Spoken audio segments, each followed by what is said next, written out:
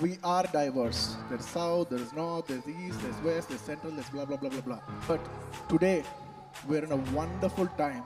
You can't define what is what. Because in today's cinema, everybody is mixed up. For example, since I'm in Wake, uh, let, let's take KGF. You have Sanjay Dutt in that. You have Raveena Tandon Garu in that. It's all mixed up. You know, in uh, Triple R, you have Ajay Devgan Garu.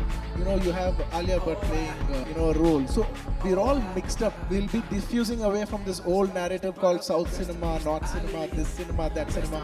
We all will be evolving as one cinema that is Indian cinema. Together, we all should grow. Yes, there will still be a diversity. That is the beauty of this country. We will still be diverse and still we'll be united together, celebrate each other.